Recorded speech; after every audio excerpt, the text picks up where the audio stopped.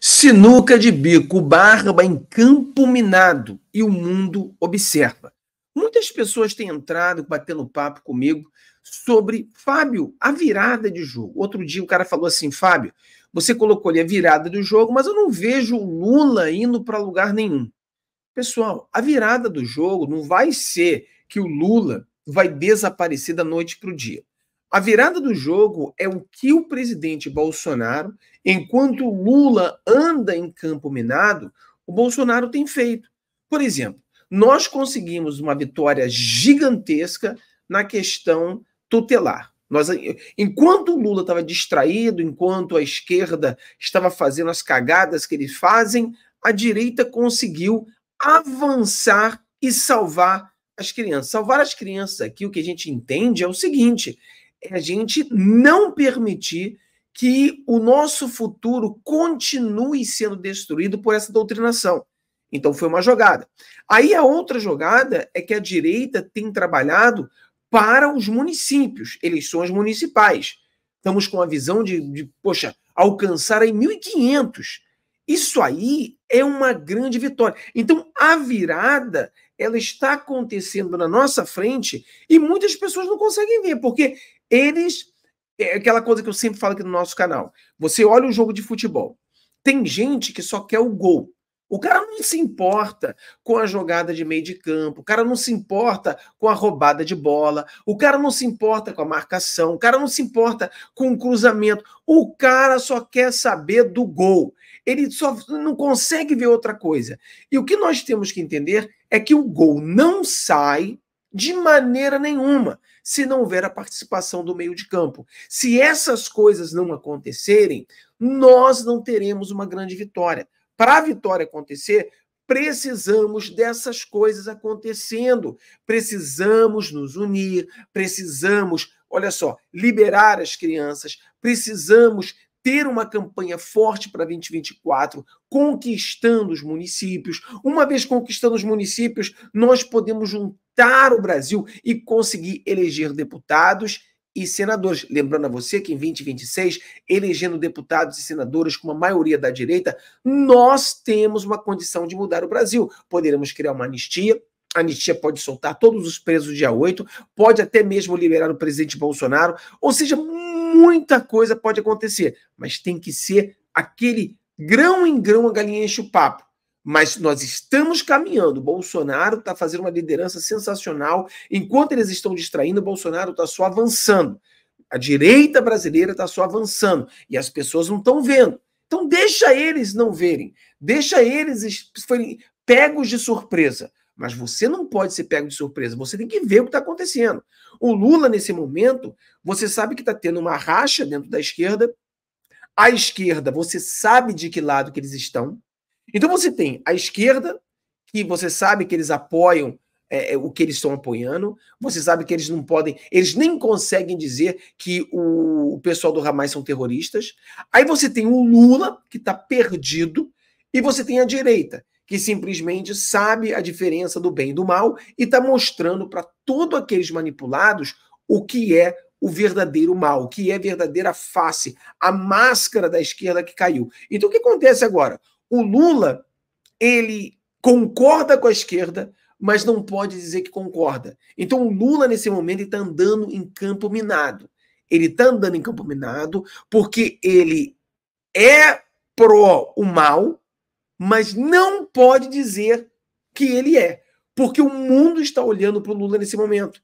O Lula, ele está desesperado, ele está doentinho, fez a cirurgia, ele vai ficar algum tempo aí usando isso como desculpa para desaparecer, porque ele não quer enfrentar as perguntas, ele não quer bater com a esquerda e bater com a direita.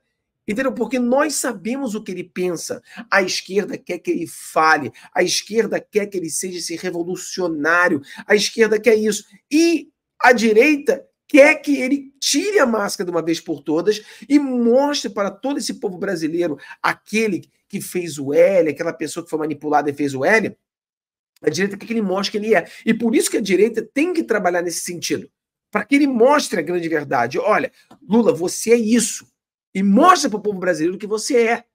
Ele não quer. Ele sabe que o mundo olha para ele. Ele sabe que nesse momento ele tem que dizer aquilo que a mídia quer ouvir. Ele sabe que nesse momento da sinuca de bico, ele ele está andando ali, entendeu? Em Minas e Minas com muito medo de pisar no lugar errado, muito medo de falar uma coisa errada, muito medo dele falar a verdade. O Lula tem medo de dizer a verdade, porque a verdade vai ser usada contra o próprio Lula. A verdade vai mostrar quem ele é. A verdade tá de... cara, o governo Lula está derretendo. Se nós tivermos agora uma, uma pesquisa para ver a popularidade do Lula, será certamente a menor de toda a sua história. Ela está só afundando, porque nesse momento, ainda que ele não, ele está com medo de pisar em mina, está com medo de pisar em falso, todo mundo está começando a ver porque a direita está funcionando, a direita trabalhando, as imagens foram colocadas, ainda que a mídia agora começa a tentar esconder. Você vê, por exemplo, uma das coisas que está abrindo a mente de muitas pessoas é como que a mídia, né, por exemplo, Folha de São Paulo, eles não chamam, por exemplo, Hamas de terrorismo, mas eles chamam as pessoas do G8 de terrorista. Como é que isso é possível? Como, como que ah, isso, então, essas coisas estão quebrando, tá, estão quebrando esse feitiço, porque é como se fosse um feitiço, né? O feitiço foi feito e essa pessoa ela está possuída por essa, por esse engano, ela está possuída por essa manipulação.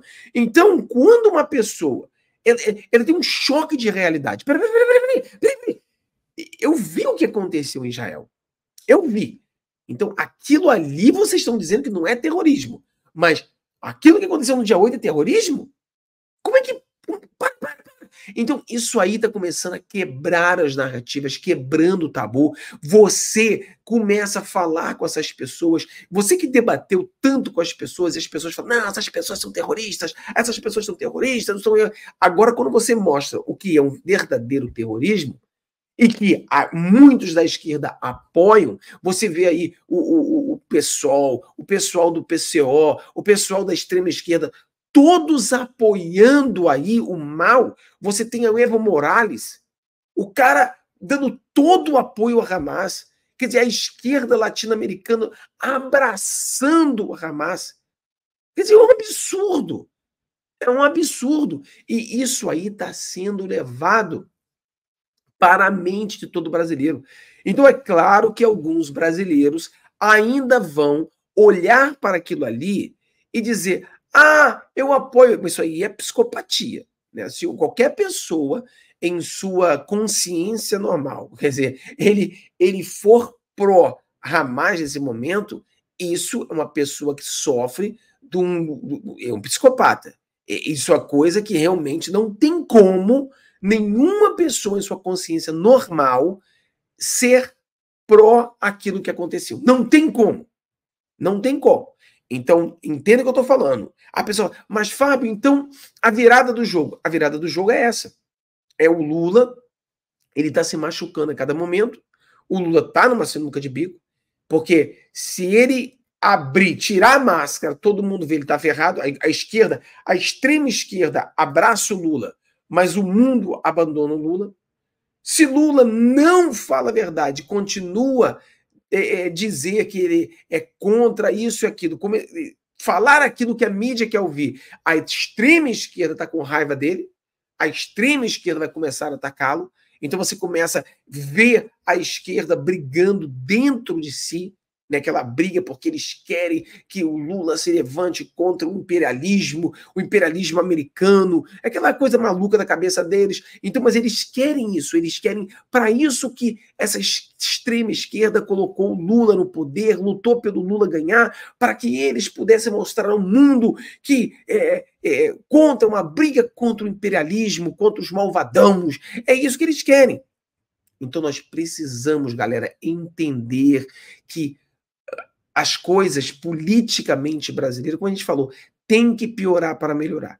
E está piorando, está piorando de forma drástica. Você vê o, a economia afundando, gasolina aumentando, preços subindo, as pessoas estão perdendo é, é, tudo aquilo que eles confiavam no Lula, porque nunca confiaram no Lula, pelo amor de Deus, ninguém confia no Lula. O que acontece é uma manipulação. E, e a pessoa sofre dessa manipulação.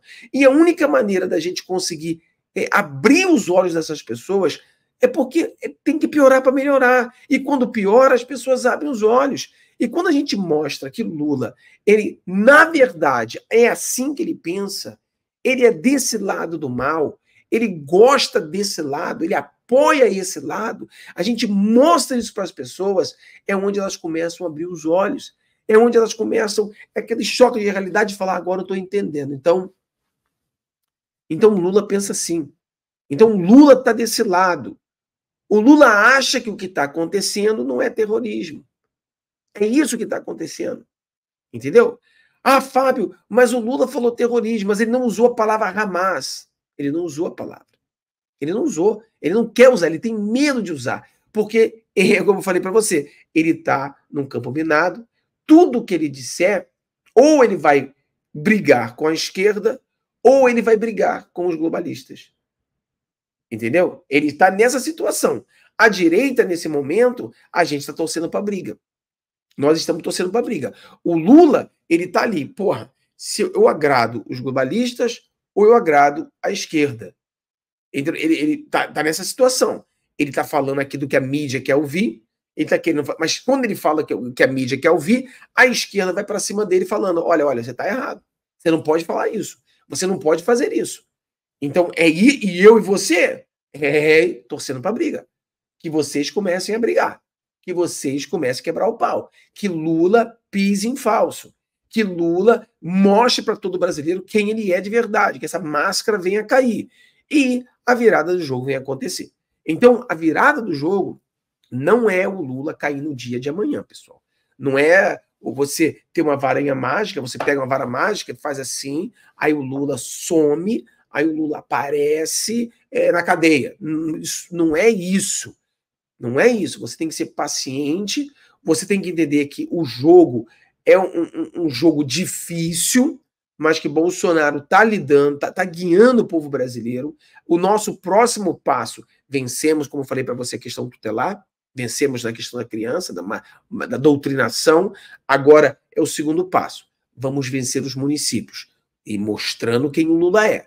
E o terceiro passo é vencer via 2026, colocando a maioria de deputados e senadores, colocando a direita no executivo. E aí, meu filho, com a grande maioria, nós conseguiremos, então, se alcançarmos essa grande maioria, o que é possível, mas vai precisar da nossa luta, a gente vai conseguir uma anistia, vamos conseguir liberar esse povo que está preso injustamente e vamos conseguir também deixar o Bolsonaro elegível uma vez mais. Mas tudo isso é possível? É. Mas não é fácil, não é da noite para o dia, é uma virada do jogo que vai acontecer com uma jogada. É, é, um grão de cada vez. Em grão em grão, a galinha enche o papo, tá bom? Então coloca isso na sua cabeça. Coloque isso na sua cabeça. O, o, o momento agora é você, você avançar. É você conseguir agora falar com um amigo seu que antes você não conseguia falar.